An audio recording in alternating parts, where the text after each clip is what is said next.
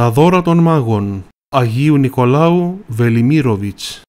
Και πεσόντες προσεκίνησαν αυτό.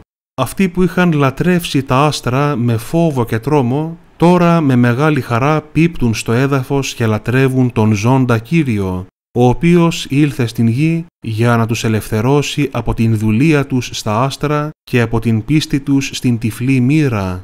Και ανοίξαντες τους θησαυρούς αυτών προσύνεγκαν αυτό δώρα, χρυσών και λίβανον και σμύρναν.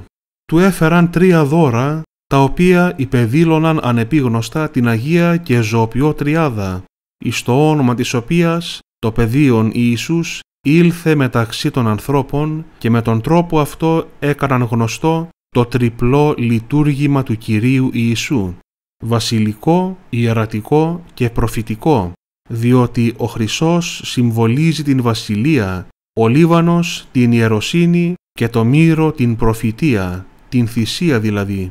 Το νεογέννητο πεδίον θα ήταν βασιλεύς της αιωνίου βασιλείας, ο αναμάρτητος ιερεύς και προφήτης, όπως δε οι περισσότεροι προφήτες προ αυτού, έτσι και αυτός θα θανατωνόταν. Είναι φανερό σε όλους ότι ο Χρυσός δηλώνει βασιλέα και την βασιλεία του. Είναι φανερό ότι το λιβάνι δηλώνει προσευχή ή ιεροσύνη και επίσης φανερό από την Αγία Γραφή ότι το μύρο δηλώνει αθανασία, αυθαρσία. Ο Νικόδημος ήλυψε το νεκρό σώμα του Ιησού Χριστού με μύρο και άλλοι φαντασώματα για να τα συντηρήσουν από την φθορά και την αποσύνθεση και για να τα διατηρήσουν λίγο περισσότερο από την φρίκη της καταστροφής του θανάτου. Ο κόσμος επρόκειτο να φωτιστεί από τον Χριστό ως σαν με χρυσό. Επρόκειτο να γεμίσει με προσευχές όπως ο ναός γεμίζει με την ευωδία του θυμιάματος και όλο το σύμπαν επρόκειτο να διαπεραστεί από την ευωδία της διδασκαλίας του και του σώματός του ως σαν με μύρο. Επιπλέον τα τρία εκείνα δώρα συμβολίζουν το διαρκές, ανθεκτικό και το απαράλλακτο. Ο χρυσός παραμένει χρυσός, το λιβάνι παραμένει λιβάνι και το μύρο παραμένει μύρο. Κανένα από αυτά δεν χάνει την φύση του στο πέρασμα του χρόνου. Μετά από χίλια χρόνια ο χρυσός ακόμη λάμπει, το λιβάνι καίει και το μύρο διατηρεί την ευωδία του.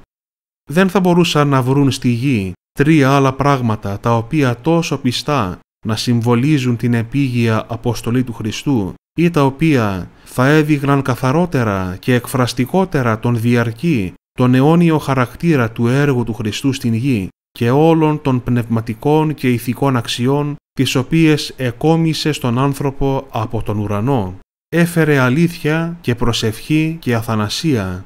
Με ποιο άλλο πράγμα στη γη θα μπορούσε η αλήθεια να αντιπροσωπευθεί καλύτερα παρά με το χρυσό.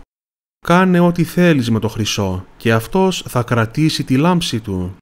Με ποιο άλλο πράγμα στη γη θα μπορούσε η προσευχή να αντιπροσωπευθεί καλύτερα παρά με το λιβάνι; Όπως ο καπνός του θυμιάματος διαποτίζει όλο τον ναό, έτσι και η προσευχή διαποτίζει όλη την ψυχή του ανθρώπου. Και όπως ο καπνός ανεβαίνει ψηλά, έτσι και η προσευχή ανεβάζει την ψυχή του ανθρώπου στον Θεό. Κατευθυνθεί το η προσευχή μου ως θυμίαμα ενώπιον σου. Είναι βέβαια αλήθεια ότι και άλλα πράγματα αναδίδουν καπνό, αλλά κανείς άλλος καπνός σαν του θυμιάματος δεν μπορεί να ελκύσει την ψυχή σε προσευχή. Με ποιο άλλο πράγμα στη γη θα μπορούσε η αθανασία να αντιπροσωπευτεί καλύτερα παρά με το μύρο. Η θνητότητα παράγει μία δυσοσμία; Η αθανασία είναι μία σταθερή ευωδία. Και έτσι οι μάγοι από την Ανατολή εξέφρασαν συμβολικά ολόκληρη την Ορθόδοξο πίστη, αρχίζοντας από την Αγία Τριάδα ως την Ανάσταση και την Αυθαρσία του Κυρίου Ιησού και αυτών που θα τον ακολουθούσαν. Οι τρεις μάγοι δεν είναι λοιπόν απλοί προσκυνητές αλλά προφήτες, προφήτες της Ορθοδόξου πίστεως και της ζωής και των έργων του Χριστού. Δεν θα μπορούσαν αφεαυτού να γνωρίζουν όλα αυτά από την ανθρώπινη αντίληψή τους, παρά από την έμπνευση του Θεού η οποία τους έστειλε στο ταξίδι τους στην Βιθλεέμ και τους έδωσε τον μυστηριώδη αστέρα για να τους καθοδηγεί στον δρόμο τους.